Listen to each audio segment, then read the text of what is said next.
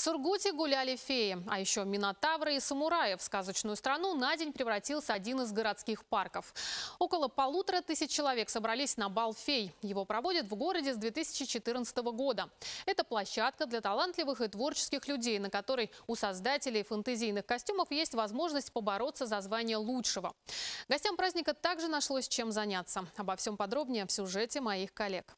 Э, Каркас из обычного провода, обтянутого обычными пакетами, э, обмотанными изолентой. Обычные подручные материалы, немного краски, декорации и фантазия. Лилия Швец воплотилась в огромный головной убор-маску. Никаких эскизов сургутянка не делала и даже в книжке не подсматривала. Образ лесного духа – полная импровизация. На пошив платья и создание рогатой шляпы потратила около двух недель. Это отдых для души, э, отвлечься от э, серых страшных будней, вот, э, ну и почувствовать себя как бы немного в сказке. Повсюду крылатые, хвостатые, рогатые. На балу феи, эльфы, принцессы и минотавры. В обычные дни в таком наряде на улицу не выйти, но здесь они главные герои. Ими любуются и выстраиваются в очередь, чтобы сфотографироваться. На них не взятые на прокат костюмы. Все наряды сделанные вручную.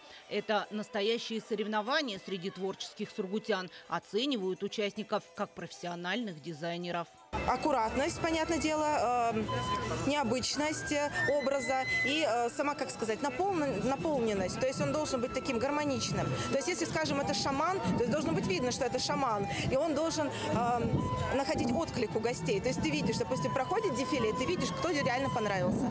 Ну и да, самые детальные, классные костюмы. Стать частью сказочного мира решили не только участники конкурса. а В городском парке культуры и отдыха собрались сотни фантастических героев. Эмоции, положительные эмоции. Мы этим занимаемся, чтобы видеть улыбки других и этим подзаряжаться самим.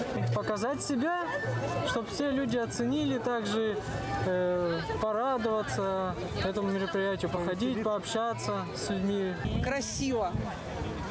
Я люблю красоту. Я не общаюсь особо сильно с людьми, но то, что я вижу, это красиво.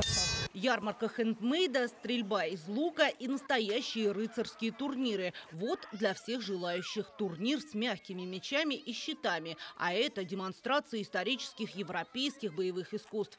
К примеру, по испанско-итальянской технике 17 века. Оказывается, тогда сражались сразу двумя видами оружия одновременно – рапирой и дагой. А здесь экспозиция для желающих познакомиться с экипировкой российских воевод. Это уже развитое средневековье, то есть, это, ну, понимаете, это конец 13 века, и все э, войны уже велись всадническим образом, то есть уже на э, конный бой. Если посмотреть на доспех, он сферической формы, то есть все скошено, и если я его, ну, подержите, пожалуйста, я его надену, то есть складывается небольшая картинка, конный всадник, закрывая щитом, наклоняет голову немного вперед, выставляет щит, удар копьем. Бал феи объединяет творческих и талантливых людей в Сургуте с 2014 года. Ежегодно участников и количество площадок становится все больше. В этот раз стать частью сказочного мира решили около полутора тысяч человек. Лиана Киямова, Юрий Чанцев, телекомпания «Югра», Сургут.